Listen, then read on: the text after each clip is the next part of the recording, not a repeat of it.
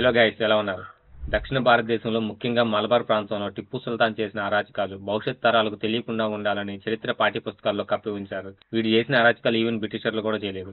అంతెందుకు ఎంతో మంది బ్రిటిష్ అధికారులు వీడు చేసిన అరాచకాలను వాళ్ళ యొక్క వ్యక్తిగత డైరీల్లోనూ పుస్తకాల్లోనూ పొందుపరిచారు. ఎంతో మంది చరిత్రకారులు స్కాలర్లు బ్రిటిష్ అధికారులు వీడు చేసిన అరాచకాలు ప్రపంచానికి తెలిసే విధంగా పొందుపరిచిన అవన్నీ కూడా మన విద్యా వ్యవస్థకు ఎందుకు కనపడలేదు? వీడిని బ్రిటిషర్ల మీద పోరాడిన వీరుడిగా ఎందుకు చిత్రీకరించారనేది వాళ్ళకే తెలియాలి. వీడు కేవలం తన రాజ్యం కాపాడుకోవడానికి మాత్రమే బ్రిటిషర్ల మీద పోరాడాడు కానీ దేశం కోసం కాదు స్వాతంత్రం కోసం అంతకన్నా కాదు. వీడి దురాగతాలు ఏవి కూడా మన పాలకులకి కనపడలేదు. చిన్నప్పుడు మనం చదువుకున్న చరిత్ర మొత్తం పచ్చి అబద్ధం. అందులోని వీడి చరిత్ర ఇంకా దారుణం. టిప్పు సుల్తాన్ తన రాజ్యాన్ని డిసెంబర్ ఏడు పదిహేడు వందల ఎనభై రెండు నుండి మే నాలుగు పదిహేడు వందల తొంభై తొమ్మిది వరకు కేవలం పదహారున్నర సంవత్సరాలు మాత్రమే పరిపాలించాడు.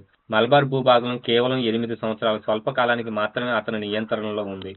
ఈ ఎనిమిది సంవత్సరాలు మలబార్ యొక్క పూర్తి స్వభావమే మారిపోయింది. టిప్పు సుల్తాన్ మలబార్లో హిందువులు మరియు హిందూ దేవాలయాలను లక్ష్యంగా చేసుకుని దురాఘాతాలకు పాల్పడ్డాడు. మలబార్లోని హిందువులపై టిప్పు సుల్తాన్ చేసిన దౌర్జన్యాలు హిందుస్థాన్లోని హిందువులపై గజనీ మహమ్మద్ అలావుద్దీన్ ఖిల్జీ మరియు నాదిర్ షా చేసిన వాటికన్నా కూడా ఘోరమైనవి మరియు అనాగరికమైనవి. అయినా వీటి గురించి మనం ఒక హీరో చరిత్ర చదువుకున్నట్టు చదువుకున్నాం. అసలు వీటి చేసిన దురాఘాతాలు ఏంటో ఇప్పుడు తెలుసుకుందాం. తొంభై తొమ్మిది పాయింట్ తొమ్మిది శాతం దేవాలయాల విధ్వంసం.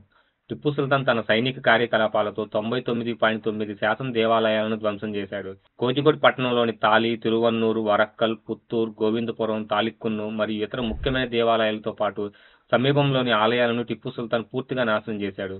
వెట్టుం ప్రాంతంలోని కేరళాధీశ్వరం త్రిక్కండియూర్ మరియు త్రిప్పంగటు వంటి పురాతన మరియు పవిత్రమైన దేవాలయాలను కూడా టిప్పు సుల్తాన్ ధ్వంసం చేసి నాశనం చేశాడు. చార్లెస్ అలెగ్జాండర్ ఇన్నేస్ రచించిన మలబార్ గెజెటెడ్ ప్రకారం ప్రసిద్ధ మరియు పురాతన తిరునావాయ దేవాలయం వేదాల యొక్క పురాతన కేంద్రకంగా దేశవ్యాప్తంగా ప్రసిద్ధి చెందింది. తమిళనాడు నుండి విష్ణు భక్తులు ఎక్కువగా ఇక్కడికి వచ్చేవారు. క్రీస్తుపూర్వం నుండి ఈ దేవాలయం ఇక్కడ ఉంది.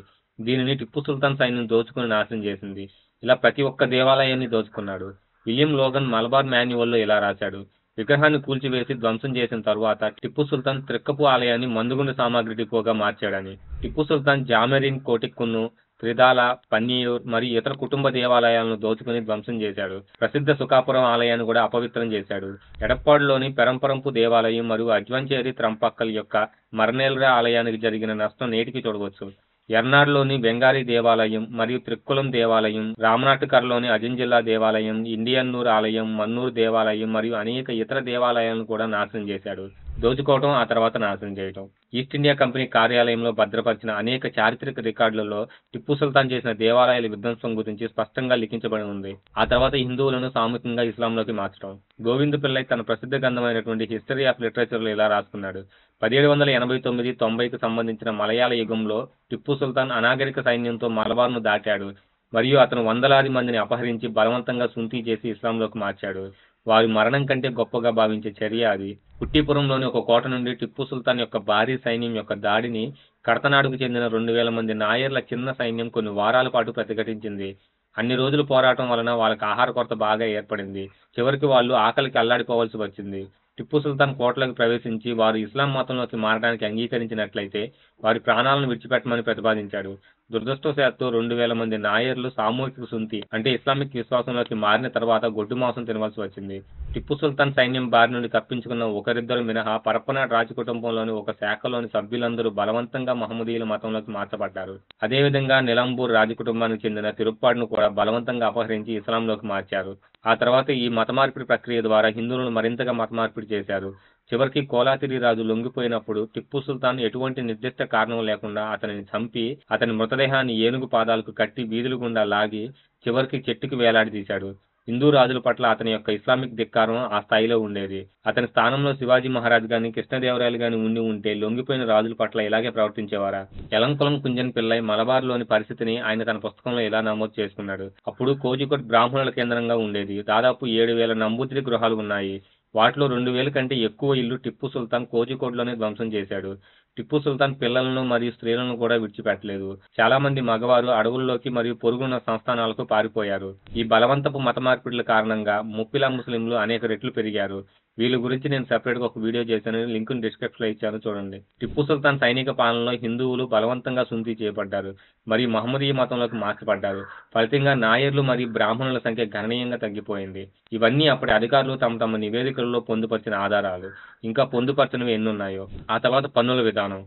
ఉద్దేశపూర్వకంగా రూపొందించిన పన్నుల పథకంలో టిప్పు సుల్తాన్ యొక్క మతపరమైన పక్షపాతం చాలా స్పష్టంగా కనిపించింది. అతని సహమతవాదులు ముస్లింలు ఇంటి పన్ను వస్తువుల పన్ను మరియు గృహ వినియోగం యొక్క ఇతర వస్తువులపై వినియోగించే పన్ను నుండి మినహాయింపు పొందారు. మహమ్మదీయులుగా మారిన వారికి కూడా ఇలాంటి పన్ను మినహాయింపులు ఇచ్చారు. వారి పిల్లల చదువుల కోసం కూడా అతను ఏర్పాట్లు చేశాడు. ఎవరైతే నాన్ ముస్లిమ్స్ ఉంటారో వాళ్ళందరూ విపరీతమైన పన్ను భారాన్ని మోయవలసి వచ్చేది. ఆ తర్వాత పరిపాలనలో హిందువులు లేకుండా చేయటం. టిప్పు సుల్తాన్ గతంలో తన తండ్రి హైదర్ అలీ ఖాన్ అనుసరించిన విధంగా వివిధ పరిపాలన మరియు సైనిక ఉద్యోగాలలో హిందువులను నియమించే పద్ధతిని పూర్తిగా నిలిపివేశాడు. అతనికి ముస్లిమేతరులందరి పట్ల తీవ్రమైన దేశం ఉండేది.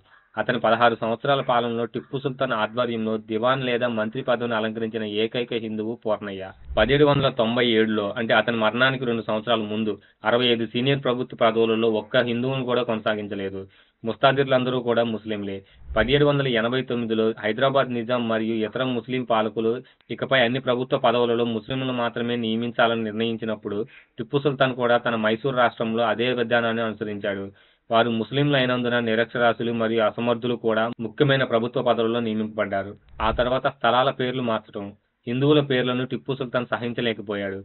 అందువల్ల మంగళపూరిని జలాలాబాద్గా కన్ననూరును కుసానాబాద్గా బేపూర్ను సుల్తాన్ పతనం లేదా ఫరూకీగా మైసూర్ను నజరాబాద్గా దార్వార్ను క్వార్షెట్ సవాద్గా గూటుని ఫైజ్ హిస్సార్గా రత్నగిరి నుండి ఉన్న ప్రాంతాన్ని ముస్తాఫాబాద్ దిండిగల్గా మార్చాడు. ఆ తర్వాత కాలికట్ అంటే కోజికోట్ నుండి ఇస్లామాబాద్ వరకు టిప్పు సుల్తాన్ మరణాంతరం స్థానిక ప్రజలు వాటి యొక్క పాత పేర్లను మళ్ళీ మార్చుకున్నారు. ఇప్పుడు చెప్పండి వీడు నిజమైన హీరోనా? వీడి గురించిన అరాచకాలు మనకు చెప్పకుండా చరిత్రలో ఒక హీరోగా ప్రొజెక్ట్ చేశారు.